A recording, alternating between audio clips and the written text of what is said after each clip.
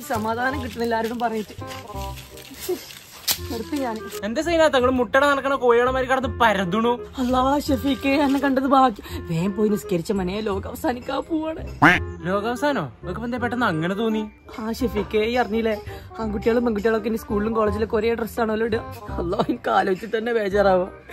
ആലോചിച്ചൊക്കെ നമ്മളെ പരിയത്തെ പെൺകുട്ടികൾ ജീൻസ് പാന്റും ടീഷർട്ടൊക്കെ ഇട്ട് സ്കൂളിലേക്കും കോളേജിലേക്ക് പോകണത് എന്റെ സൈനാത്ത് നിങ്ങൾക്ക് സ്കൂളിൽ പോകാത്തോണ്ട് ഇതൊന്നും മനസ്സിലാവാത്തതാണ്. ഒരു യൂണിഫോം അതിന്റെ കൂടെ ഒരു ജാക്കറ്റ് ഒരു പാവാടയൊക്കെ ഇടാറ് ഭയങ്കര അടങ്ങാറാണ്. യൂണിസെക്സ് യൂണിഫോമുകളൊക്കെ മറ്റുള്ള രാജ്യത്ത് എന്നോ വന്നിക്കണു.